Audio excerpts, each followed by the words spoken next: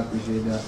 Um, my season has been like really great since I've moved to France, and then um, I've played almost all the games in the second half, and then um, I played 16 games, and then I scored nine goals with some assists, which I think is good, and then um, it's good with my development and then everything. Um, and then also about this Friday game, I think it's really important. It's just um, a game to show how we appreciate the fans and then thank everyone for their support, and then they should keep on praying and then um, support the nation because we are going out there in the name of the nation, like in the name of the nation, not as an individual. So we need everyone prayers and then everyone's support, which I think is going to help the nation. Thank you.